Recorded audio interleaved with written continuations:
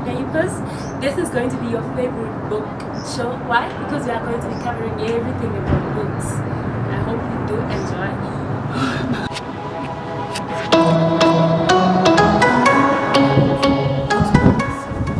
Oh, I don't even have a book with me here.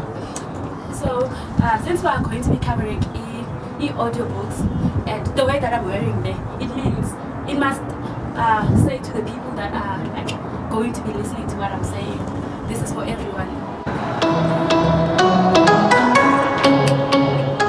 You don't have to be a in a particular field to like and love books. Books grow everyone. There are people who never went to school, but they still like when you read a book, you, you, more. There are all books that you have read, the motivators, style of writers.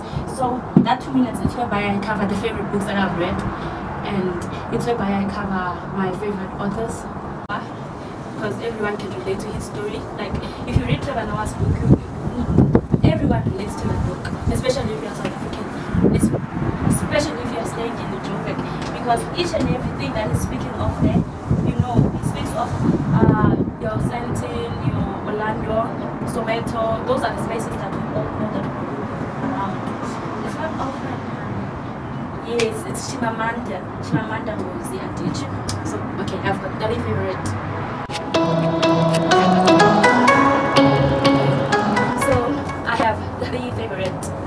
authors. It will have to be Chimamanda. She writes so beautifully, and I like the fact that he's she's African. She covers everything. Even if you have never been to Nigeria, you are able to get a feel and idea of what she's talking about. And then there's Lizzie Dangarembga. My personal favorite uh, book that she wrote will have to be uh, These Bones Will Live Again.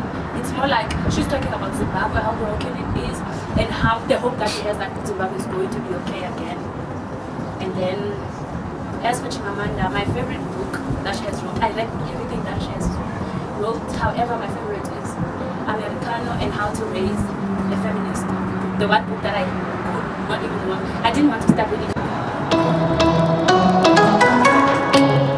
focusing on how to raise a child to be a feminist. So in your idea, when you see the topic, you don't have a kid, so you are like, there's no need for me to, to read this one. However, when you get to read it, you can also learn more about it because it does not really say to raise a child. You need A, B, C, D, and E. No, it's, it's talking about the things that are happening around us and how we should if you are a child, like if you have a child, how to talk to your kid about those kind of things that are happening around them and how best to say them. Even for yourself, you are able to learn more and new things.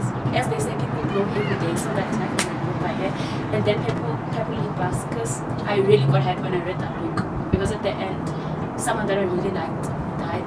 Anyways, I like, love, I love the book. Yeah. So internationally, let me check my favorite writer.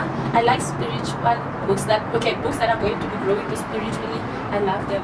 So there's a book that I've been reading this year. I, I can't put it down. I keep going back to it. It's written by Greg Mac. Oh, I hope I'm pronouncing it right. It's Greg Macomb. So the book is about essentialism. Essentialism. Thank you. So this book is totally telling you how to grow as a person, how to lose things and still be okay. So in order for a person to grow, they need to lose a lot of things and focus on one thing. Focusing your energy on everything sometimes does not really work. You end up losing everything. Hence they say, uh, what's the saying? Etty, uh, what is the saying? Jack of all trades, but master of none. Yeah, so that book talks about that. If you if you if you doing everything at the same time, you're not going to master everything, anything in, fact. So that's why I love